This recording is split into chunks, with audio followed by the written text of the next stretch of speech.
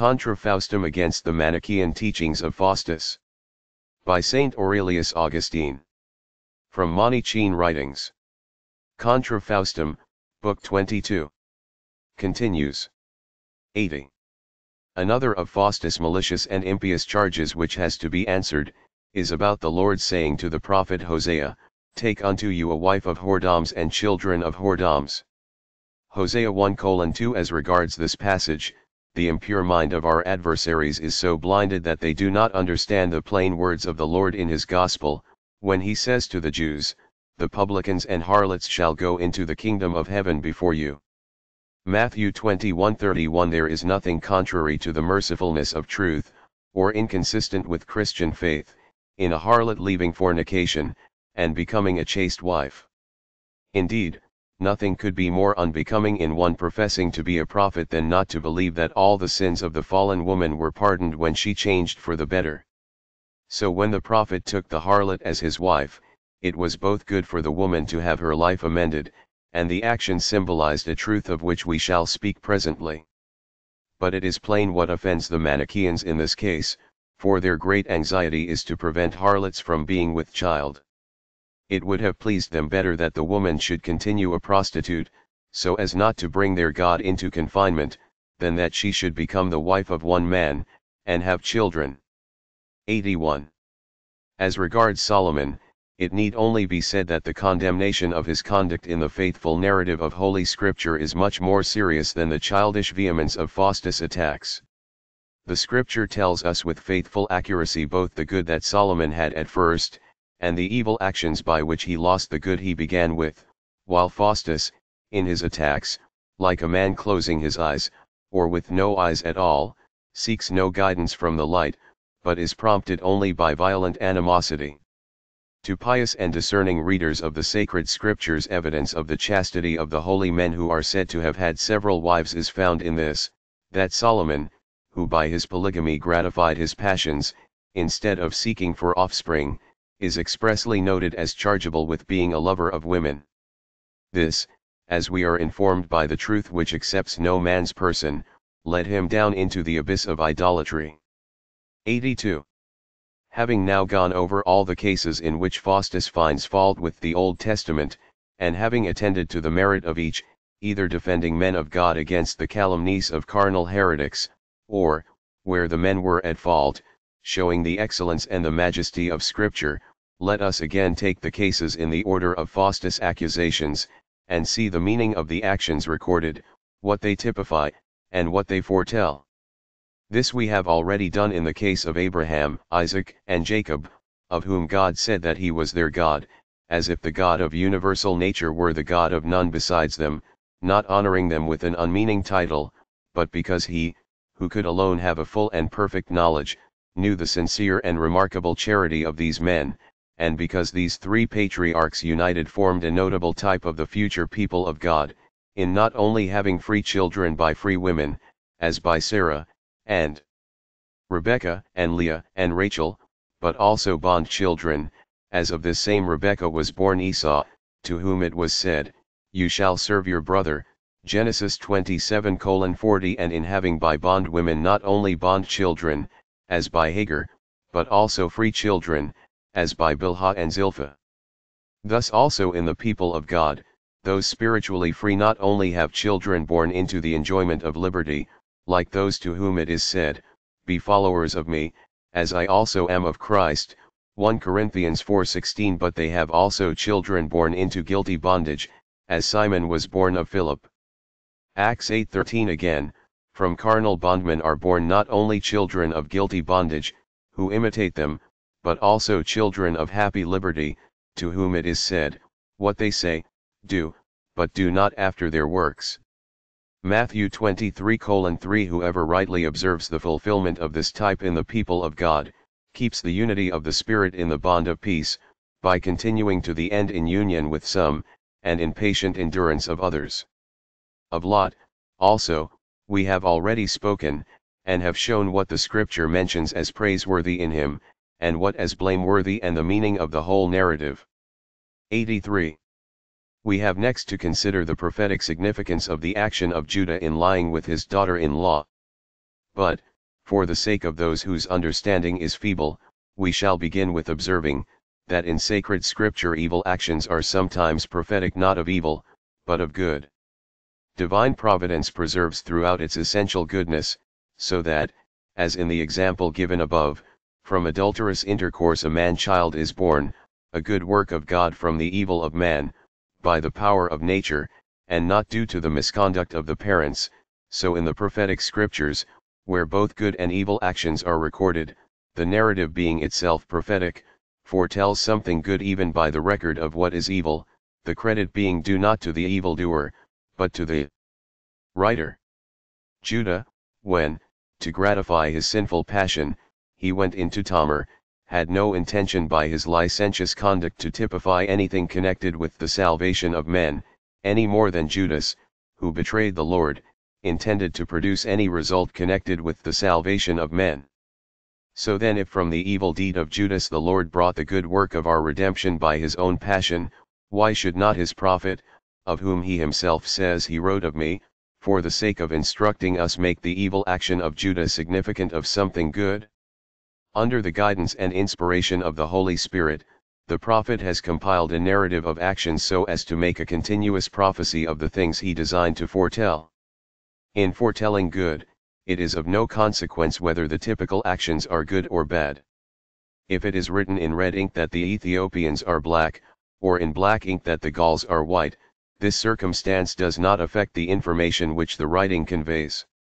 No doubt, if it was a painting instead of a writing, the wrong color would be a fault, so when human actions are represented for example or for warning much depends on whether they are good or bad but when actions are related or recorded as types, the merit or demerit of the agents is a matter of no importance, as long as there is a true typical relation between the action and the thing signified. So in the case of Caiaphas in the Gospel as regards his iniquitous and mischievous intention, and even as regards his words in the sense in which he used them, that a just man should be put to death unjustly, assuredly they were bad, and yet there was a good meaning in his words which he did not know of when he said, it is expedient that one man should die for the people and that the whole nation perish not. So it is written of him, this he spoke not of himself, but being the high priest, he prophesied that Jesus should die for the people. John 11 50-51 In the same way the action of Judah was bad as regards his sinful passion, but it typified a great good he knew nothing of. Of himself he did evil while it was not of himself that he typified good. These introductory remarks apply not only to Judah, but also to all the other cases where in the narrative of bad actions is contained a prophecy of good. 84. In Tamar, then, the daughter-in-law of Judah, we see the people of the kingdom of Judah, whose kings, answering to Tamar's husbands, were taken from this tribe. Tamar means bitterness, and the meaning is suitable, for this people gave the cup of gall to the Lord. Matthew 27:34 The two sons of Judah represent two classes of kings who governed ill those who did harm and those who did no good. One of these sons was evil or cruel before the Lord, the other spilled the seed on the ground that Tamar might not become a mother. There are only those two kinds of useless people in the world the injurious and those who will not give the good they have but lose it or spill it on the ground. And as injury is worse than not doing good, the evildoer is called the elder and the other the younger. Er, the name of the elder, means a preparer of skins, which were the coats given to our first parents when they were punished with expulsion from paradise. Genesis 3:21 Onan, the name of the younger, means, their grief, that is, the grief of those to whom he does no good, wasting the good he has on the earth. The loss of life implied in the name of the elder is a greater evil than the want of help implied in the name of the younger. Both being killed by God typifies the removal of the kingdom from men of this character. The meaning of the third son of Judah not being joined to the woman, is that for a time the kings of Judah were not of that tribe. So this third son did not become the husband of Tamar, as Tamar represents the tribe of Judah, which continued to exist, although the people received no king from it. Hence the name of this son, Selam, means, his dismission. None of those types apply to the holy and righteous men who, like David, though they lived in those times, belong properly to the New Testament, which they served by their enlightened predictions.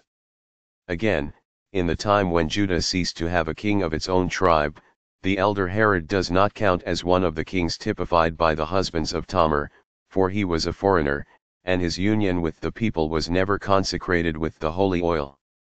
His was the power of a stranger, given him by the Romans and by Caesar. And it was the same with his sons, the tetrarchs, one of whom, called Herod, like his father, agreed with Pilate at the time of the Lord's Passion. Luke 23:12 So plainly were these foreigners considered as distinct from the sacred monarchy of Judah, that the Jews themselves, when raging against Christ, exclaimed openly, We have no king but Caesar. John 19:15 Nor was Caesar properly their king, except in the sense that all the world was subject to Rome. The Jews thus condemned themselves, only to express their rejection of Christ, and to flatter Caesar. 85. The time when the kingdom was removed from the tribe of Judah was the time appointed for the coming of Christ our Lord, the true Saviour, who should come not for harm, but for great good.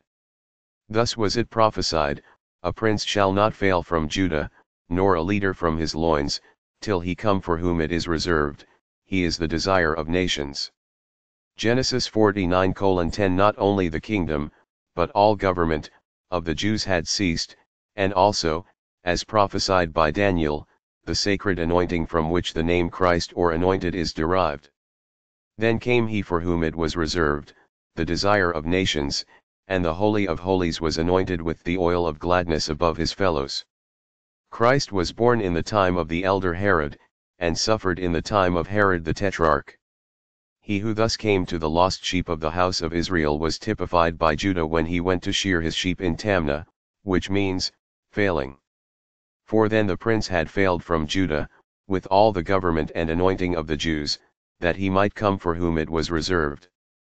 Judah, we are told, came with his Adullamite shepherd, whose name was Ires, and Adullamite means, a testimony in water.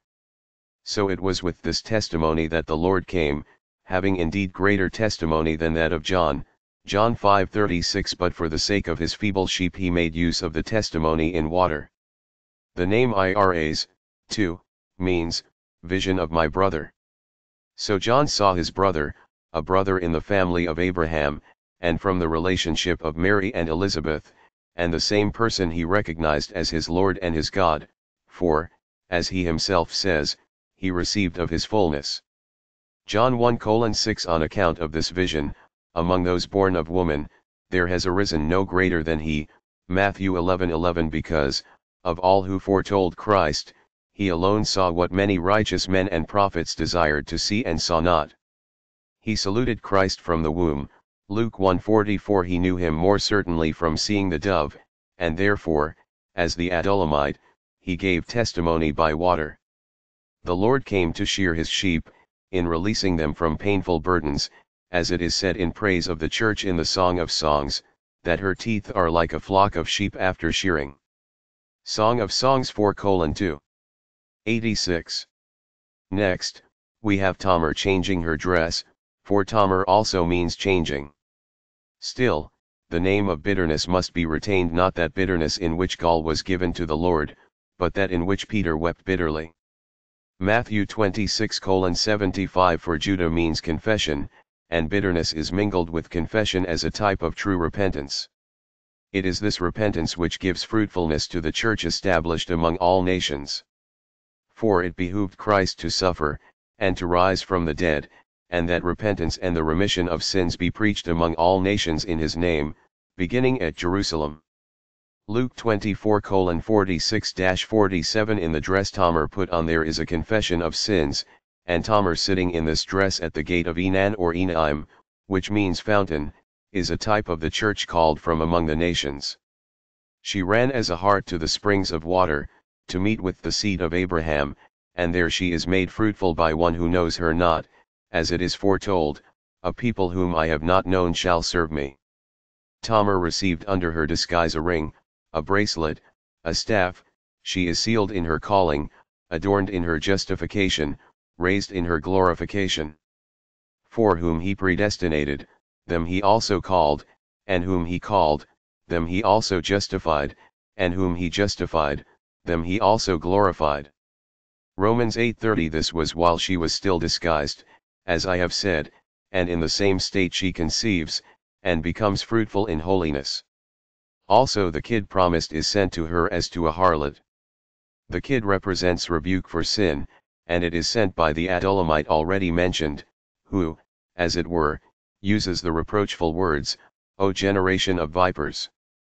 Matthew 3 7 But this rebuke for sin does not reach her, for she has been changed by the bitterness of confession. Afterwards, by exhibiting the pledges of the ring and bracelet and staff, she prevails over the Jews, in their hasty judgment of her, who are now represented by Judah himself, as at this day we hear the Jews saying that we are not the people of Christ, and have not the seed of Abraham. But when we exhibit the sure tokens of our calling and justification and glorification, they will immediately be confounded, and will acknowledge that we are justified rather than they. I should enter into this more particularly, taking, as it were, each limb and joint separately, as the Lord might enable me, were it not that such minute inquiry is prevented by the necessity of bringing this work to a close, for it is already longer than is desirable. 87. As regards the prophetic significance of David's sin, a single word must suffice. The names occurring in the narrative show what it typifies.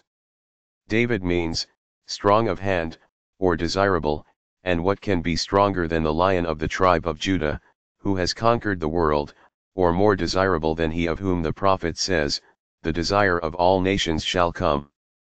Haggai 2 8 Beersheba means, well of satisfaction, or seventh well, either of these interpretations will suit our purpose. So, in the Song of Songs, the spouse, who is the church, is called a well of living water, Song of Songs 415 or again, the number 7 represents the Holy Spirit, as in the number of days in Pentecost, when the Holy Spirit came from heaven. We learn also from the book of Tobit, that Pentecost was the feast of seven weeks. Tobit 2 1 to 49, which is 7 times 7, 1 is added to denote unity. To this effect is the saying of the Apostle, bearing with one another in love, endeavoring to keep the unity of the Spirit in the bond of peace. Ephesians 4 2 3 The Church becomes a well of satisfaction by this gift of the Spirit, the number 7 denoting its spirituality, for it is in her a fountain of living water springing up unto everlasting life, and he who has it shall never thirst. John 4 13 14 Uriah, Bersabba's husband, must, from the meaning of his name, be understood as representing the devil. It is in union to the devil that all are bound whom the grace of God sets free, that the church without spot or wrinkle may be married to her true Savior. Uriah means, my light of God, and Hittite means, cut off, referring either to his not abiding in the truth, when he was cut off on account of his pride from the celestial light which he had of God, or to his transforming himself into an angel of light, because after losing his real strength by his fall, he still dares to say, My light is of God. The literal David, then, was guilty of a heinous crime, which God by the prophet condemned in the rebuke addressed to David, and which David atoned for by his repentance. On the other hand, he who is the desire of all nations loved the church when washing herself on the roof, that is, when cleansing herself from the pollution of the world, and in spiritual contemplation mounting above her house of clay, and trampling upon it, and after commencing an acquaintance, he puts to death the devil, whom he first entirely removes from her, and joins her to himself in perpetual union. While we hate the sin, we must not overlook the prophetical significance, and while we love, as is his due, that David who in his mercy has freed us from the devil, we may also love the David who by the humility of his repentance healed the wound made by his transgression. 88. Little need be said of Solomon, who is spoken of in Holy Scripture in terms of the strongest disapproval and condemnation, while nothing is said of his repentance and restoration to the divine favor. Nor can I find in his lamentable fall even a symbolic connection with anything good. Perhaps the strange women he lusted after may be thought to represent the churches chosen from among the Gentiles. This idea might have been admissible, if the women had left their gods for Solomon's sake to worship his God. But as he for their sakes offended his God and worshipped their gods, it seems impossible to think of any good meaning. Doubtless, something is typified, but it is something bad, as in the case already explained of Lot's wife and daughters. We see in Solomon a notable preeminence and a notable fall. Now, this good and evil which we see in him at different periods, first good and then evil, are in our day found together in the church. What is good in Solomon represents, I think, the good members of the church, and what was bad in him represents the bad members. Both are in one man, as the bad and the good are in the chaff and grain of one floor, or in the tares and wheat of one field. A closer inquiry into what is said of Solomon in Scripture might disclose, either to me or to others of greater learning and greater worth, some more probable interpretation but as we are now engaged on a different subject, we must not allow this matter to break the connection of our discourse. 89. As regards the prophet Hosea, it is unnecessary for me to explain the meaning of the command, or of the prophet's conduct, when God said to him, Go and take unto you a wife of whoredoms and produce children of whoredoms, for the scripture itself informs us of the origin and purpose of this direction. It proceeds thus, for the land has committed great whoredom, departing from the Lord. So he went and took Gomer the daughter of Diblaim, which conceived, and bore him a son. And the Lord said to him, Call his name Jezreel, for yet a little while, and I will avenge the blood of Jezreel upon the house of Judah, and will cause to cease the kingdom of the house of Israel. And it shall come to pass at that day, that I will break the bow of Israel in the valley of Jezreel. And she conceived again, and bare a daughter. And God said to him, Call her name No Mercy, for I will no more have mercy upon the house of Israel, but I will utterly take them away. But I will have mercy upon the house of Judah, and will save them by the Lord their God, and will not save them by bow, nor by sword, nor by battle, by horses, nor by horsemen. Now when she had weaned no mercy, she conceived, and bare a son. Then said God, Call his name not my people, for you are not my people, and I will not be your God. Yet the number of the children of Israel shall be as the sand of the sea, which cannot be measured for multitude, and it shall come to pass that in the place where it was said to them, You are not my people, there it shall be said to them, You are the sons of the living God. Then shall the children of Israel and the children of Judah be gathered together, and appoint themselves one head, and they shall come up out of the land, for great shall be the day of Jezreel. Say ye unto your brethren, my people, and to your sister, she has found mercy.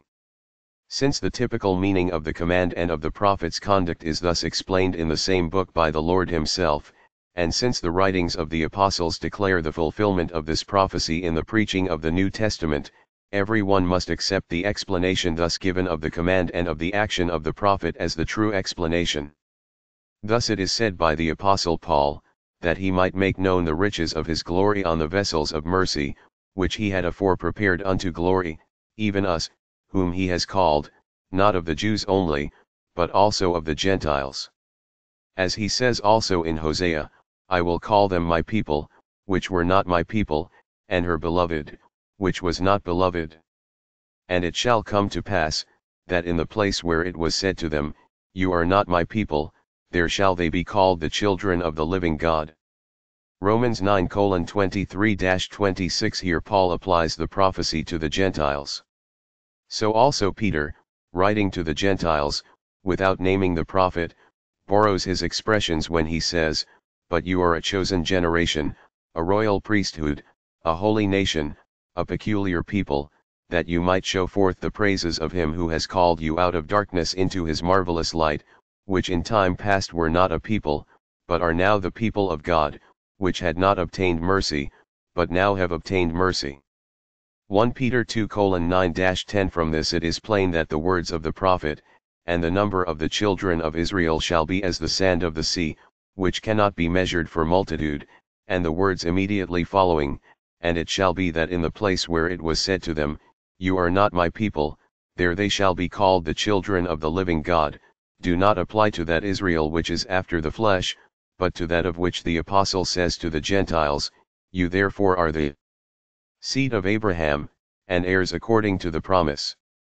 Galatians 3:29 But as many Jews who were of the Israel after the flesh have believed, and will yet believe, for of these were the apostles, and all the thousands in Jerusalem of the company of the apostles, as also the churches of which Paul speaks, when he says to the Galatians, I was unknown by face to the churches of Judea which were in Christ, Galatians 1:22 and again, he explains the passage in the Psalms, where the Lord is called the cornerstone, as referring to his uniting in himself the two walls of circumcision and uncircumcision, that he might make in himself of two one new man, so making peace, and that he might reconcile both unto God in one body by the cross, having slain the enmity thereby, and that he might come and preach peace to them that are far off, and to them that are near, that is, to the Gentiles and to the Jews, for he is our peace, who has made of both one. Ephesians 2 11 22 To the same purpose we find the prophet speaking of the Jews as the children of Judah, and of the Gentiles as children of Israel, where he says, The children of Judah and the children of Israel shall be gathered together, and shall make to themselves one head, and shall go up from the land. Therefore, to speak against a prophecy thus confirmed by actual events, is to speak against the writings of the apostles as well as those of the prophets, and not only to speak against writings, but to impugn in the most reckless manner the evidence clear as noonday of established facts. In the case of the narrative of Judah, it is perhaps not so easy to recognize, under the disguise of the woman called Tamar, the harlot representing the church gathered from among the corruption of Gentile superstition, but here, where scripture explains itself, and where the explanation is confirmed by the writings of the apostles, instead of dwelling longer on this, we may proceed at once to inquire into the meaning of the very things to which Faustus objects in Moses the servant of God.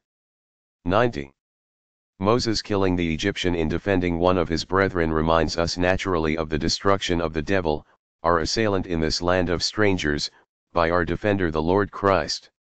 And as Moses hid the dead body in the sand, even so the devil, though slain, remains concealed in those who are not firmly settled. The Lord, we know, builds the church on a rock, and those who hear his word and do it, he compares to a wise man who builds his house upon a rock, and who does not yield or give way before temptation, and those who hear and do not, he compares to a foolish man who builds on the sand, and when his house is tried its ruin is great.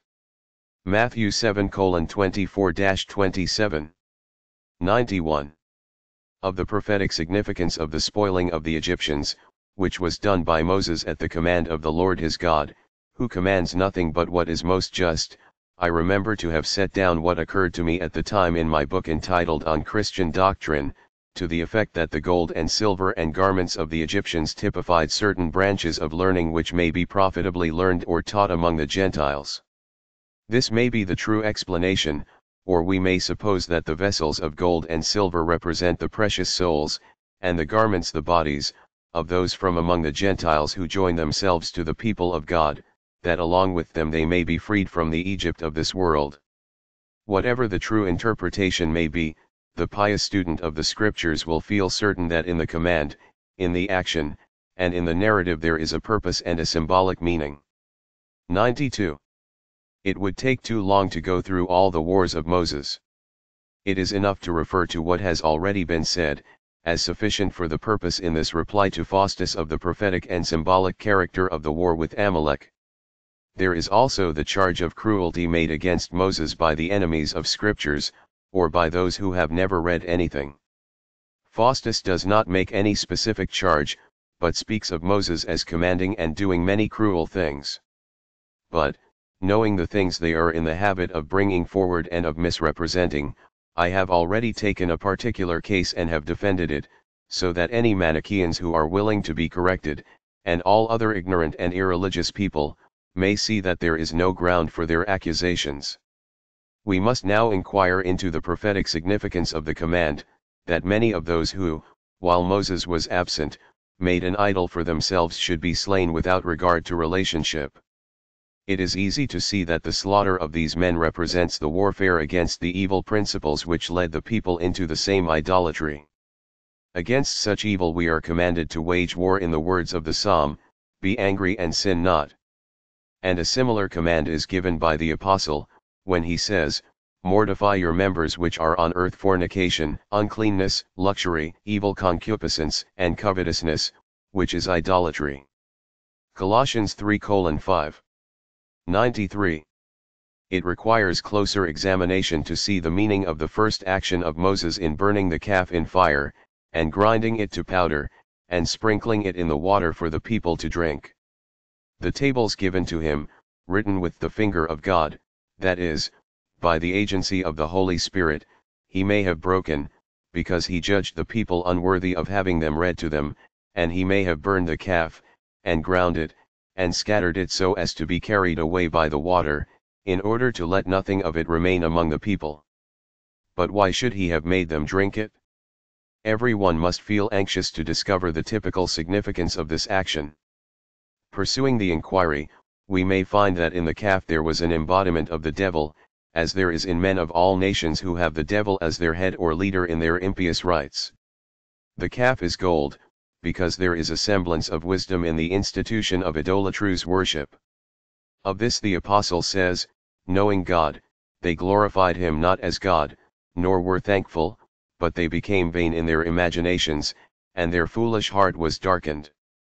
Professing themselves to be wise they became foolish, and changed the glory of the incorruptible God into the likeness of corruptible man, and of birds, and of four-footed beasts, and of creeping things. Romans 1 21-23 From this so-called wisdom came the golden calf, which was one of the forms of idolatry among the chief men and professed sages of Egypt. The calf, then, represents every body or society of Gentile idolaters.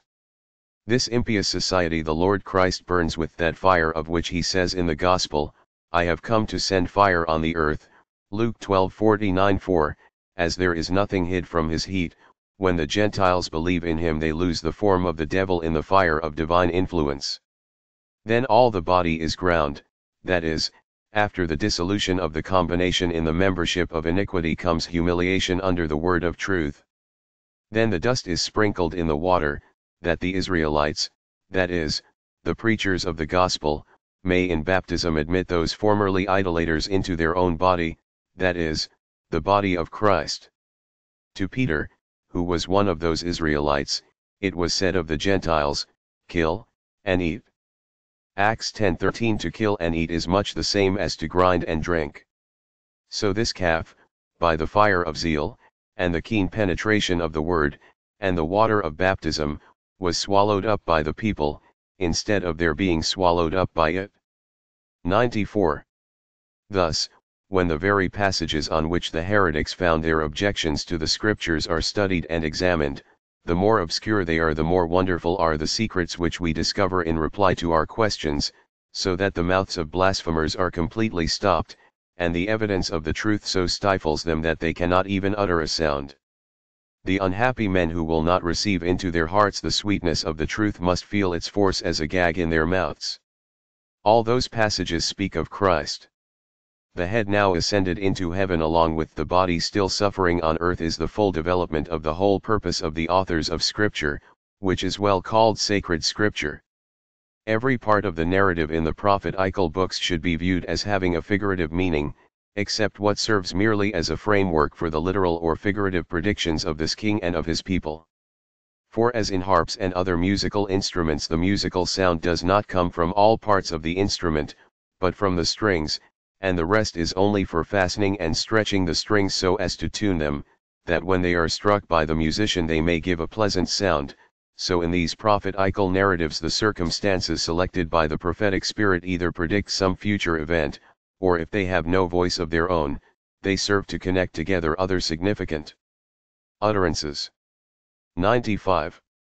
Should the heretics reject our exposition of those allegorical narratives, or even insist on understanding them only in a literal sense, to dispute about such a difference of understanding would be as useless as to dispute about a difference of taste. Only, the fact that the divine precepts have either a moral and religious character or a prophetic meaning must be believed, whether intelligently or not. Moreover, the figurative interpretations must all be in the interest of morality and religion.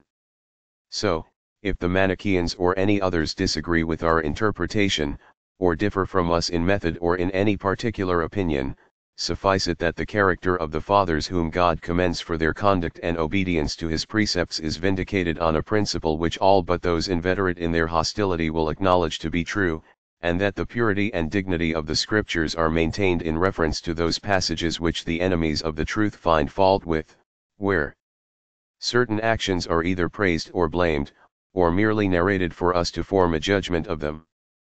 96. In fact, nothing could have been devised more likely to instruct and benefit the pious reader of sacred scripture than that, besides describing praiseworthy characters as examples, and blameworthy characters as warnings, it should also narrate cases where good men have gone back and fallen into evil, whether they are restored to the right path or continue irreclaimable, and also where bad men have changed, and have attained to goodness, whether they persevere in it or relapse into evil, in order that the righteous may be not lifted up in the pride of security, nor the wicked hardened in despair of cure. And even those passages in Scripture which contain no examples or warnings are either required for connection, so as to pass on to essential matters, or, from their very appearance of superfluity, indicate the presence of some secret symbolic meaning. For in the books we speak of, so far from there being a want or a scarcity of prophetical announcements, such announcements are numerous and distinct, and now that the fulfillment has actually taken place, the testimony thus borne to the divine authority of the books is irresistibly strong, so that it is mere madness to suppose that there can be any useless or unmeaning passages in books to which all classes of men and of minds do homage, and which themselves predict what we see thus actually coming to pass. 97. If, then, any one reading of the action of David, of which he repented when the Lord rebuked and threatened him, find in the narrative an encouragement to sin, is scripture to be blamed for this? Is not the man's own guilt in proportion to the abuse which he makes for his own injury or destruction of what was written for his recovery and release? David is set forth as a great example of repentance, because men who fall into sin either proudly disregard the cure of repentance, or lose themselves in despair of obtaining salvation or of meriting pardon. The example is for the benefit of the sick, not for the injury of those in health. If madmen destroy themselves, or if evildoers destroy others, with surgical instruments, it is not the fault of surgery. 98. Even supposing that our fathers the patriarchs and prophets, of whose devout and religious habits so good a report is given in that scripture which every one who knows it, and has not lost entirely the use of his reason, must admit to have been provided by God for the salvation of men, were as lustful and cruel as the Manichaeans falsely and fanatically allege, they might still be shown to be superior not only to those whom the Manichaeans call the elect, but also to their God himself. Is there in the licentious intercourse of man with woman anything so bad as the self-abasement of unclouded light by mixture with darkness? Here, is a man prompted by avarice and greed to pass off his wife as his sister and sell her to her lover, but worse still and more shocking, that one should disguise his own nature to gratify criminal passion, and submit gratuitously to pollution and degradation. Why, even one who knowingly lies with his own daughters is not equally criminal with one who lets his members share in the defilement of all sensuality as gross as this, or grosser. And is not the Manichaean God a partaker in the contamination of the most atrocious acts of uncleanness? Again, if it were true, as Faustus says, that Jacob went from one to another of his four wives, not desiring offspring, but resembling a he-goat in licentiousness, he would still not be sunk so low as your God, who must not only have shared in this degradation, from his being confined in the bodies of Jacob and his wives so as to be mixed up with all their movements, but also, in union with this very he-goat of Faustus' coarse comparison, must have endured all the pains of animal appetite. Incurring fresh defilement at every step, as partaking in the passion of the male, the conception of the female, and the birth of the kid. And, in the same way, supposing Judah to have been guilty not only of fornication, but of incest, a share in the heats and impurities of this incestuous passion would also belong to your God. David repented of his sin in loving the wife of another, and in ordering the death of her husband, but when will your God repent of giving up his members to the wanton passion of the male and female chiefs of the race of darkness, and of putting to death not the husband of his mistress, but his own children, whom he confines in the members of the very demons who were his own lovers. Even if David had not repented, nor been thus restored to righteousness, he would still have been better than your God. David may have been defiled by this one act, or to the extent to which one man is capable of such defilement, but your God suffers the pollution of his members in all such actions by whomsoever committed. The prophet Hosea, too, is accused by Faustus, and, supposing him to have taken the harlot to wife because he had a criminal affection for her, if he is licentious and she a prostitute, their souls, according to your own assertion, are parts and members of your God and of his nature. In plain language, the harlot herself must be your God. You cannot pretend that your God is not confined in the contaminated body, or that he is only present, while preserving entire the purity of his own nature, and you acknowledge that the members of your God are so defiled as to require a special purification. This harlot, then, for whom you venture to find fault with the man of God, even if she had not been changed for the better by becoming a chaste wife, would still have been your God, at least you must admit her soul to have been a part, however small, of your God. But one single harlot is not so bad as your God, for he on account of his mixture with the race of darkness shares in every act of prostitution, and wherever such impurities are perpetrated, he goes through the corresponding experiences of abandonment, of release, and of confinement, and this from generation to generation, till this most corrupt part reaches its final state in the mass of darkness, like an irreclaimable harlot. Such are the evils and such the shameful abominations which your God could not ward off from his members, and to which he was brought irresistibly by his merciless enemy, for only by the sacrifice of his own subjects, or rather his own parts, could he effect the destruction of his formidable assailant. Surely, there was nothing so bad as this in killing an Egyptian so as to preserve uninjured a fellow countryman. Yet Faustus finds fault with this most absurdly, while with amazing infatuation he overlooks the case of his own God. Would it not have been better for him to have carried off the gold and silver vessels of the Egyptians, than to let his members be carried off by the race of darkness? And yet the worshippers of this unfortunate God find fault with the servant of our God for carrying on wars, in which he with his followers were always victorious, so that, under the leadership of Moses, the children of Israel carried captive their enemies, men and women, as your God would have done too, if he had been able. You profess to accuse Moses of doing wrong, while in fact you envy his success. There was no cruelty in punishing with the sword those who had sinned grievously against God. Indeed, Moses entreated pardon for this sin, even offering to bear himself in their stead the divine anger. But even had he been cruel instead of compassionate, he would still have been better than your God. For if any of his followers had been sent to break the force of the enemy and had been taken captive, he would never, if victorious, have condemned him when he had done no wrong, but acted in obedience to orders. And yet this is what your God is to do with the part of himself which is to be fastened in the mass of darkness, because it obeyed orders, and advanced at the risk of its own life in defense of his kingdom against the body of the enemy.